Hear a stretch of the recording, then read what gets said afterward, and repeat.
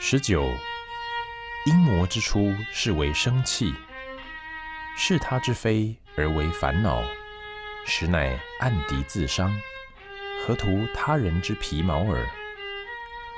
楞严经上有五十种阴魔之说。什么叫阴魔？这里说的阴魔，就是把自己对自己生气，自己想不通，自寻烦恼。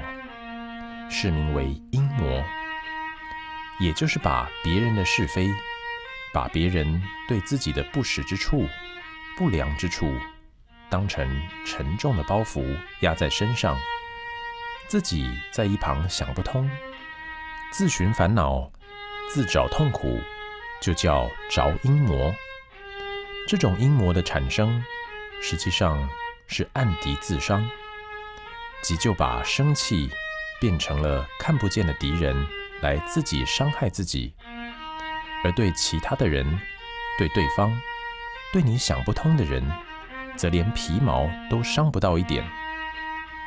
因此，我们不能把外来的是非作为烦恼。